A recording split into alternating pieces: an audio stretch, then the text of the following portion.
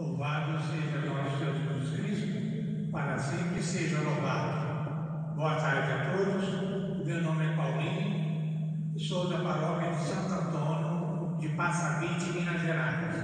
A minha pastoral é do Teu dos Homens, Nossa Senhora das Graças. Quero para, parabenizar a pastoral do Teu dos Homens de Barra Mansa, que nos convida para todos os eventos que sejam realizados na paróquia de Barra Mansa.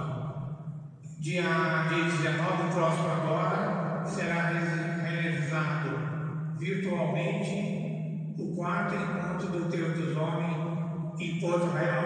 A Santa de, de Porto Real é Nossa Senhora dos. Quero parabenizar a todos os Deus dos Homens no município de, de Porto Real e da cidade de Porto Real e também parabenizar a, a pastoral do Terço dos Homens de Barra Mansa. Muito obrigado a todos,